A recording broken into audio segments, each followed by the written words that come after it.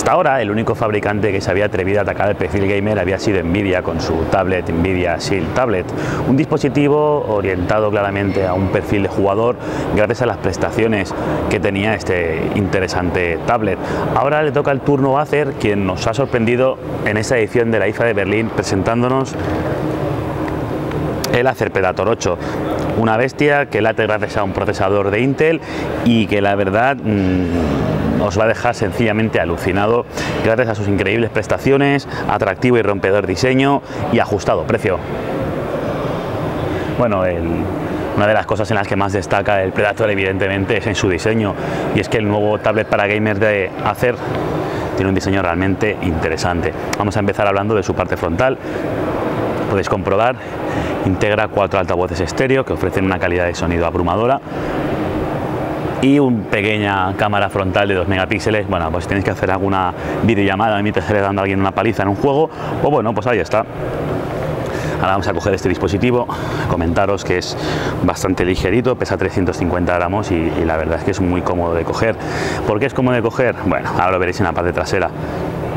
Y es que el Acer Predator 8 integra aquí dos bandas de, de silicona que hacen que aunque el cuerpo sea metálico, esta parte tenga mucho más agarre, haciendo que el, dispositivo sea muy fácil de sujetar, sea liviano, sea muy cómodo, bastante útil cuando estemos jugando. Además, que no lo veáis en su interior integra una serie de, de sensores que hacen que el tablet vaya temblando mientras vamos jugando. La vibración no es como una vibración convencional, está muy mejorada y mejora de manera notable la experiencia jugando. Ya que estamos en la parte trasera, podéis comprobar es donde está situada la cámara principal, formada por una lente de 5 megapíxeles. Vuelvo a decir lo mismo, esta tablet está orientada claramente a un perfil gamer. Esta tablet no es para hacer fotos, es para jugar con ella y disfrutar al máximo de sus posibilidades. Aquí en el lateral derecho, donde nos encontramos las teclas de control de volumen y el botón de encendido y apagado. El material de, de, construcción es sólido, la verdad es que las teclas son bastante cómodas, son duras, al presionar se nota que tienen unos acabados premium, podemos decir que están bastante bien construidas. En la parte superior del Acer Predator 8 es donde se ha situado el cargador micro USB, además de la salida de audio, que es donde conectaremos nuestros auriculares. La parte inferior está limpia, no hay absolutamente nada, como podréis ver.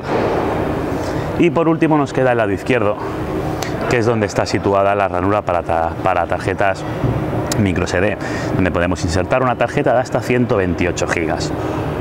En definitiva, podemos decir que el diseño agresivo y futurista del, del Acer Predator 8, la verdad es que lo diferencia de los demás, hacen que el dispositivo sea realmente agradable al tacto. Un tablet orientado a los jugadores y que la verdad es que entra solo por la vista.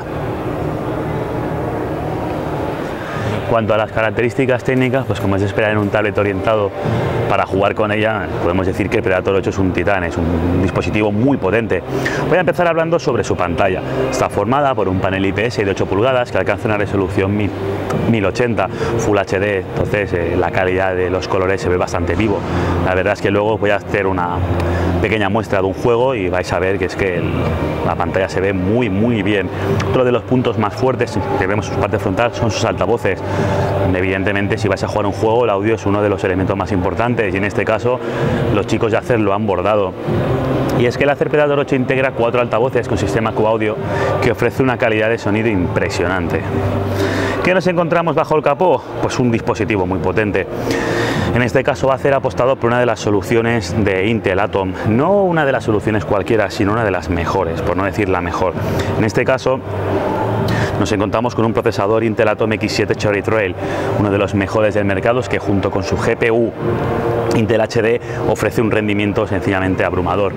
A esto hay que añadirle 2 GB de memoria de RAM DDR3 y 64 GB de almacenamiento interno que se podrá ampliar a través de su tarjeta microSD hasta 128 GB más, más que suficiente para cualquier jugador.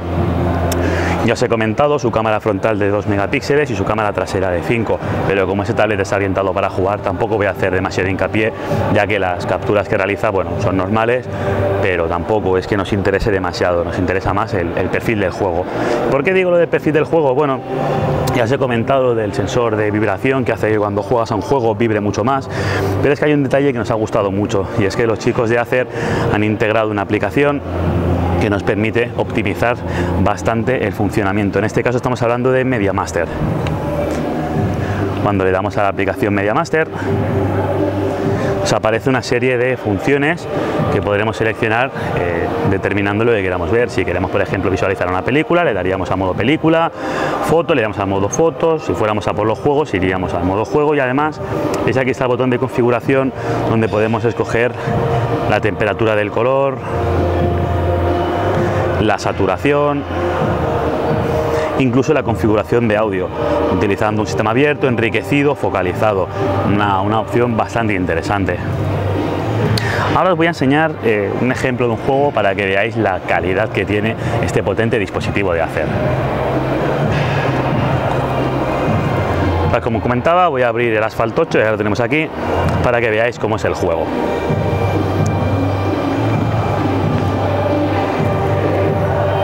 Lo que os decía, el, agarre es, increíble, es realmente cómodo de coger, además como os he comentado pesa 350 gramos, por lo que el, dispositivo es, es, muy ligero, no, no molesta para nada. Vamos a escoger este coche mismo y a jugar rápido, si interesa mostraros cómo funciona. Venga. Vamos a subir el audio al máximo.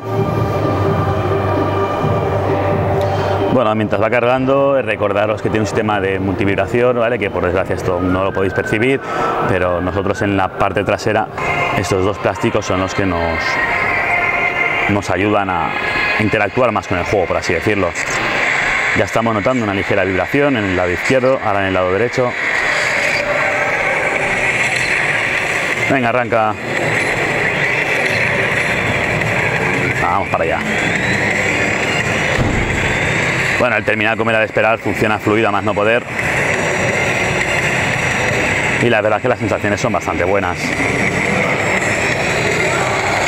Ya os digo que yo no soy muy gamer, pero bueno, aquí lo que nos interesa es probar principalmente los altavoces, ver cómo funcionan, que en este caso funcionan bastante bien. Ver que he tenido suerte derrapando y sobre todo probar el tacto. El tacto jugando es bastante agradable. La vibración es, un elemento curioso que le da una sensación de inmersión superior y la verdad es que es una cosa que, nos ha gustado bastante. Habrá que ver si, si se plantea lanzar sus propias aplicaciones adaptadas para este dispositivo porque la verdad es que sería uno de los puntos más interesantes a tener en cuenta.